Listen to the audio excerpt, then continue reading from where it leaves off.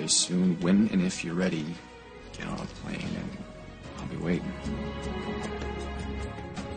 Doesn't seem possible that I'm. I'm going to retire today.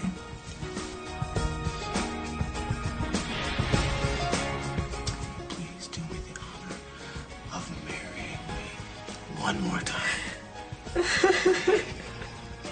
Yes, Jack.